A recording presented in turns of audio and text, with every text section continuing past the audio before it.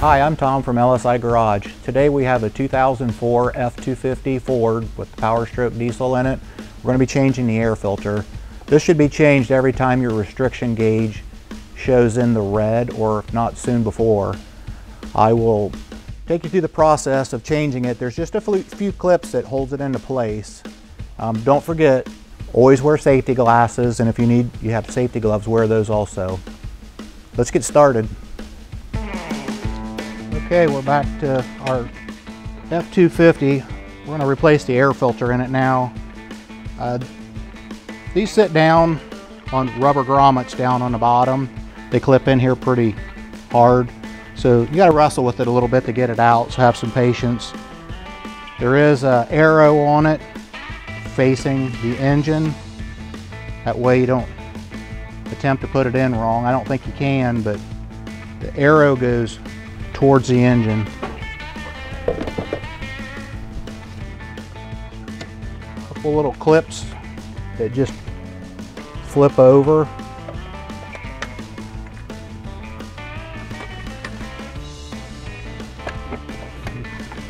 Push the piece towards the firewall, the air intake, and try to lift up on it out of the rubber seal.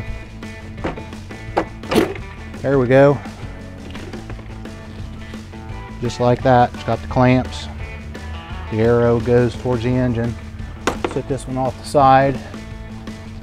Set the new one down in here.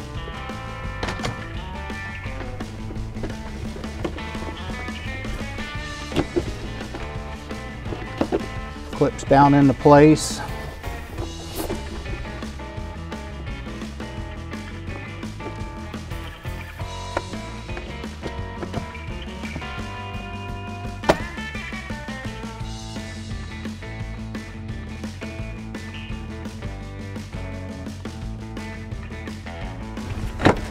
That in.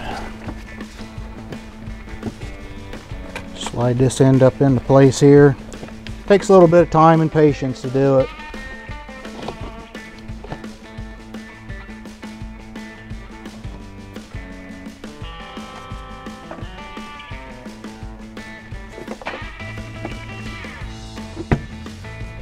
There we go. You can feel it when it clips in.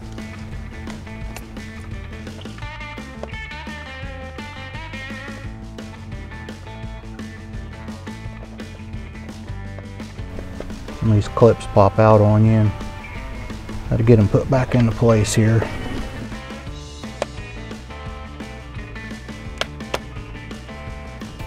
Okay, at this time after it's back in place, there's a, I can just pull this out and show you.